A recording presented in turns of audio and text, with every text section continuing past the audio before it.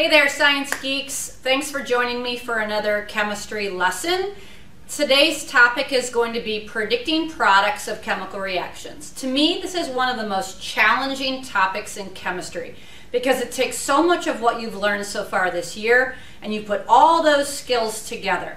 So hang in there. I'm going to give you some tips on some things that I think could be helpful for you and let's just practice and do some fun demos along the way. Behind me, I've drawn some chemical reactions and I'm going to use them to kind of help you through some tips. I'm going to start off with my first piece of advice. If I give you the reactants in a chemical reaction, what I want you to do is I want you to think about what you're working with. Am I giving you an element? Am I giving you a compound? Are you looking at a hydrocarbon? Is oxygen involved? All of those different things are going to help you come to the ultimate conclusion of what type of chemical reaction are you working with. So the second thing that you want to do after you've considered what am I dealing with here is think about do I have a synthesis chemical reaction, a decomposition, single replacement, double replacement, or combustion? Because once you figure that out, now you know how to predict the products. For instance, if you determine that you're working with a hydrocarbon and oxygen, you immediately know that this is a combustion reaction. And the products of a combustion reaction are always carbon dioxide and water. Well, that makes your life a lot easier. So the second thing I also I always want you to do is figure out what type of chemical reaction you're working with. The third piece of advice, use your common sense. There are some things in a chemical reaction that just don't make sense for you to put together. We've done a lot of practice with formula writing. When we did ionic compound formula writing, we always had a metal ion and then we had a non-metal negative ion that went along with it. It would not make sense for you on the product side to put two positively charged ions together. In the same regard, it would not make sense for you to put two negatively charged ions together. Because we know if you put two positives together or two negatives together, they're going to repel. So definitely use your common sense when you're trying to figure out what the products are. My fourth piece of advice is this.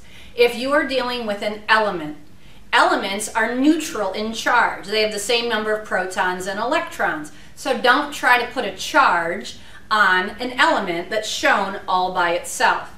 In addition to that, when you are dealing with what I like to call the HONClBrIF elements, in other words, the diatomic elements, the seven elements that have a little tiny subscript 2 at the end, make sure you remember that they're diatomic. So those seven elements are hydrogen, oxygen, nitrogen, chlorine, bromine, iodine, and fluorine.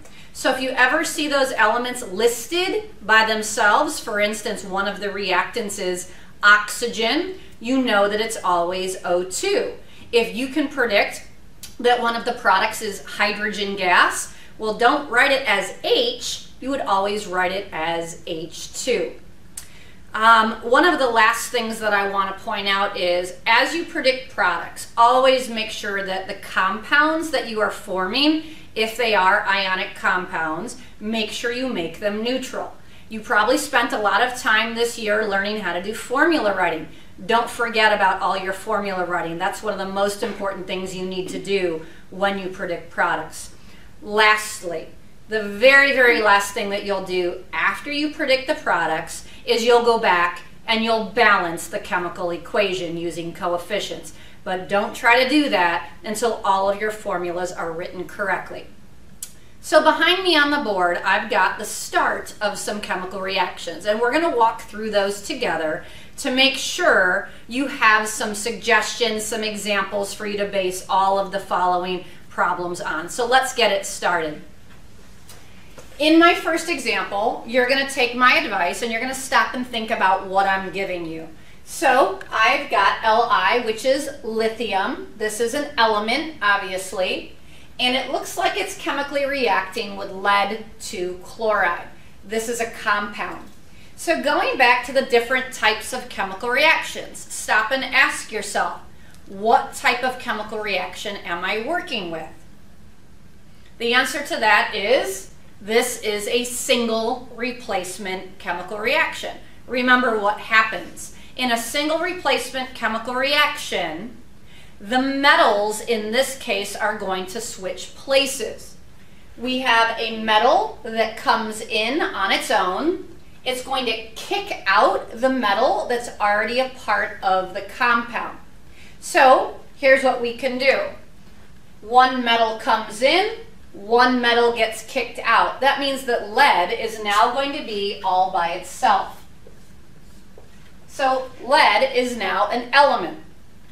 The second compound, if we take lithium and we combine it with the chloride, we'll get a compound called lithium chloride. Now, don't just take the subscripts and drag them from the left side over to the right side. It's important that you do good formula writing here. In a compound with two ions, lithium is a positive one and chloride is a negative one. So when you put a positive one and a negative one together, they easily cancel out. So we're going to get LiCl as the other product. Now some of you are looking at this and you're saying, wait a minute, wait a minute, but the number of chlorides is not the same on the left and the right. Well, of course, the last thing that you're going to do is start changing the coefficients. So to fix this problem, here's what we can do we add these big numbers in front called coefficients. And what they do is they multiply by any subscripts that might be in the compound. So in this case, if there are two chlorine atoms here and only one over here, one thing you want to keep in mind is if you don't see a subscript, chemists are lazy. We don't ever write our ones. There's actually a one right here and a one right here.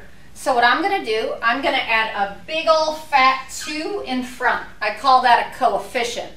That means I now have two lithiums and two chlorines over on the right-hand side. The chlorines are two atoms, the chlorines are two atoms, that's balanced. Well now, how do I fix this problem? I see two lithiums here, but only one over on the left-hand side. You got it. I can put a coefficient of a 2 in front of the lithium, and now we have the same number of atoms of lithium on the left side and the right side. So this, of course, is called balancing an equation, and it's the last part of what you should do when you're writing the products of a chemical reaction. You go back at the end and you balance the equation. So notice I've got two lithiums, two lithiums, one lead, one lead, two chlorines, and two chlorines, and we've got a great chemical reaction written right there. Let's move on to the second one in red. In this particular case, I have a compound called silver nitrate, and I have another compound called magnesium bromide. So I want you to stop and think about this again in terms of classifying different types of chemical reactions. When you have two compounds, I want you to think about two couples. This could be uh, a woman and a man, and a woman and a man, and in this case, we're going to switch the women. So we're going to take one metal ion and switch it with the other metal ion, and it's going to look like this. The silver will now go with the bromide. The magnesium will now go with the nitrate. Now, of course, you have to know your ion charges. If silver has a plus one and bromide has a negative one, it's going to look like this. AgBr, plus one minus one cancels out. The magnesium now goes with the nitrate. Magnesium has a positive 2. Nitrate has a negative 1. Make sure this is neutral.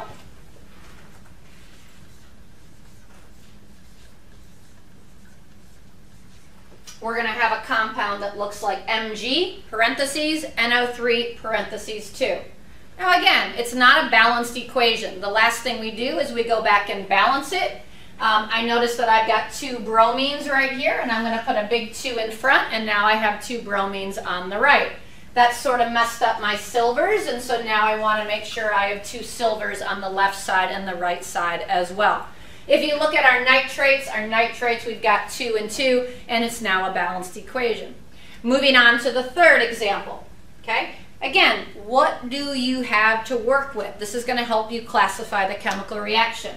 So in this case, notice I've got a compound, but it's rich in carbons and hydrogens. So we call this a hydrocarbon. Well, remember, there was that one special type of chemical reaction where we had a hydrocarbon burning in oxygen. You can't burn anything unless oxygen is present. So we're going to take our CH4, which is called methane. Uh, if you're thinking in terms of covalent naming, you might call that carbon tetrahydride. Uh, but in organic chemistry, we call that methane. It reacts with the oxygen. And the products of this one are easy. When you've got a combustion reaction, they're always CO2 and H2O. So there's the products of our chemical reaction, super duper easy. Now you might say, well, this doesn't look like a balanced equation. Let's go back and figure out why. So far the carbons look good, but the hydrogens do not. If I've got four on the left, I need to have four on the right. I could put a big fat two in front, and that gives me four hydrogens over on the right hand side. Now check out your oxygens. They're a little bit harder to balance because they're kind of split up. You see them twice on the right-hand side. So this is a situation where you would add them together.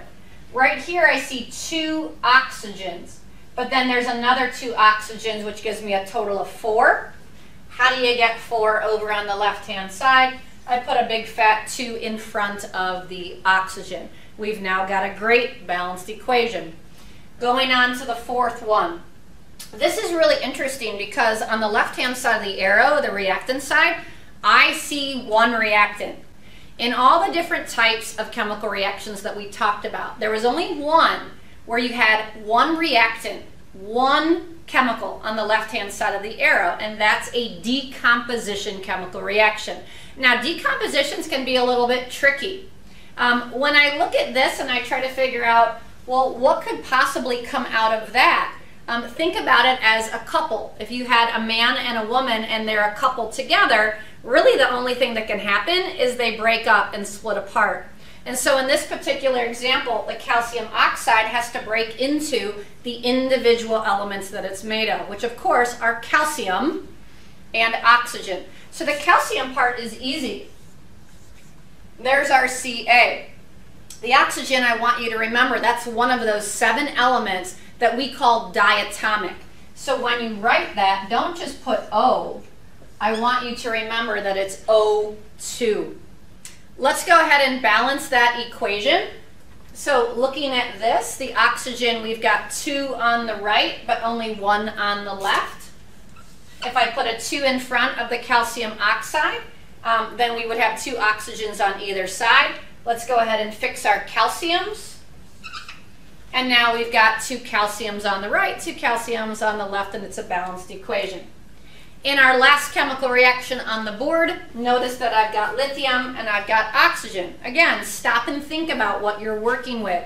Lithium is an element, oxygen is an element. The only thing you can do when you've got two elements is merge them together and create one product. This is a synthesis type of chemical reaction. When lithium and oxygen go together, you make lithium oxide. Stop and think about your charges. In an ionic compound, lithium is a positive 1. Oxygen would be a negative 2. That means to write lithium oxide, you would need Li2O to make all the charges add up to 0. Let's balance it before we move on. If I have two lithium here, I would want to have two lithium here. But then look at our oxygens. There's a problem, right? If there's two here, but there's only one here, keep in mind, we have to make sure that we have the same number of oxygens on the left-hand side and the right-hand side. So I'm going to stop, and maybe we need a 2 right here. Well, of course, that's going to now mess up my lithiums. That's okay. When we balance equations, a lot of times you have to erase and start over. And so that shows me four lithiums on the right. I've got four lithiums on the left, two oxygen, two oxygen, and we've got a balanced equation. So this is our starting point, right? We're always going to stop. We're going to think about what we're working with. We're going to classify the type of chemical reaction. When we're coming up with products, we're going to make sure we know our ions and make all of our ionic compounds neutral. And then when we're dealing with some of our elements, we realize one, they're always neutral. Don't try to give them charges if they're in the elemental state. And also don't forget that there are seven diatomic elements that always require a small subscript of two after them. At this point, I'd like to continue practicing with you because this can be such a challenging topic for students. Along the way, I'll try to do a couple chemical reactions just to keep it kind of uh, fun and interesting. Uh, but keep on practicing and don't give up. This is definitely the heart of chemistry, and I love predicting products, so I hope you join me uh, and, and find this topic really interesting.